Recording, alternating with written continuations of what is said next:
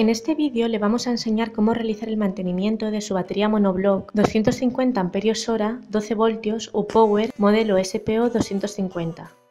Se trata de una batería de plomo ácido abierto que está compuesta, como puede observar, por 6 vasos de 2 voltios, cada uno de ellos, que otorgan los 12 voltios totales a la batería.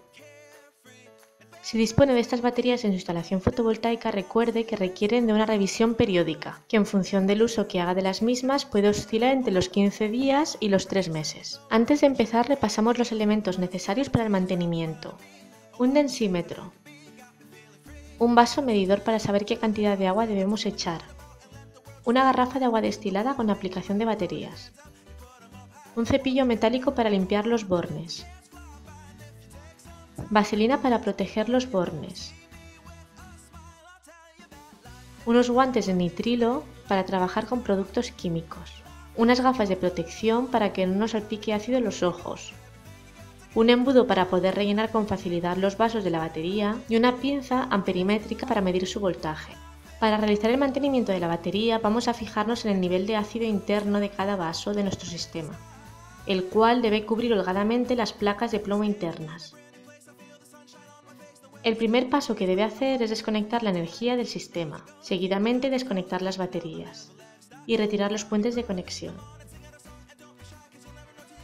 En primer lugar, pasamos a comprobar el estado de la batería, el cual depende de dos factores, la densidad del electrólito y el voltaje. Pasamos a medir el voltaje. Con una pinza amperimétrica, que debe ser de corriente continua,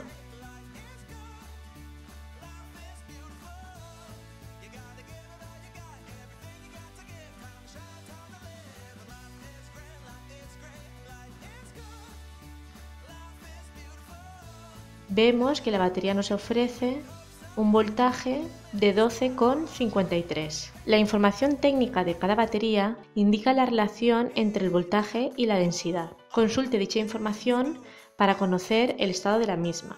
Para medir la densidad cogemos el densímetro, el cual debemos introducir dentro de cada vaso de la batería y apretar la parte superior del mismo, llamada pera. Soltamos la pera y vemos que la pesa de ácido sube hasta indicar la densidad en la que se encuentra el electrolito.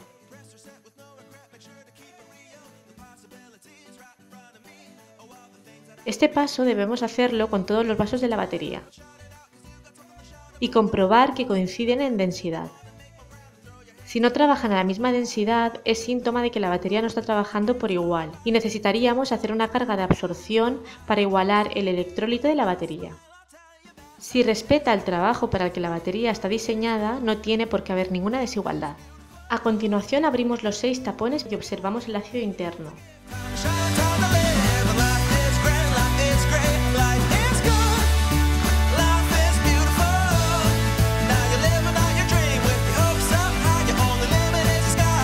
el cual, como hemos dicho, debe cubrir holgadamente las placas internas.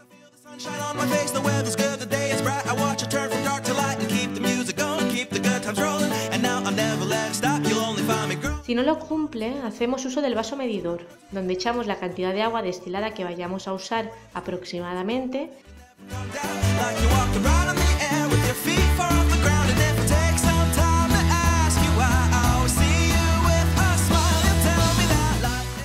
Y con el empleo del embudo vamos rellenando con precaución cada uno de los vasos.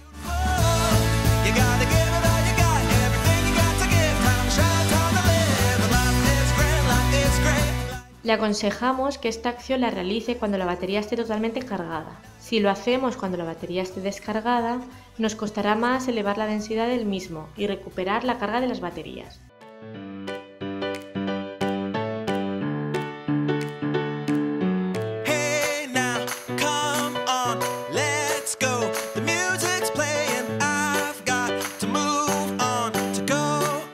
siguiente paso es coger el cepillo metálico y limpiar todos los bornes, lo que nos asegurará que la continuidad y la transmisión de energía va a ser perfecta. En caso de que observemos los bornes sulfatados, quiere decir que la batería ha estado en espacios con humedad o que hemos sobreforzado las baterías. También puede limpiarlos con bicarbonato de sodio y agua en el caso de que la suciedad se resista.